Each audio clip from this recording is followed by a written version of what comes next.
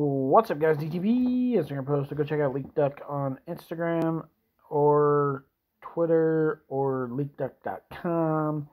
You can go check them out at any of those spots. Um, the next, not the next, the community after the next community day, because we got a community coming up on Saturday, which is a dumb one. Then the community day after that, next month's community day, is Gible. That's right. Finally, a Gible Community Day. And everybody should be happy because everybody's been asking for this for so long.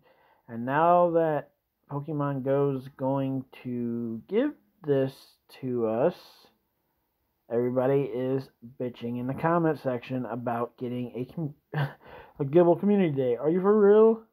Shut up.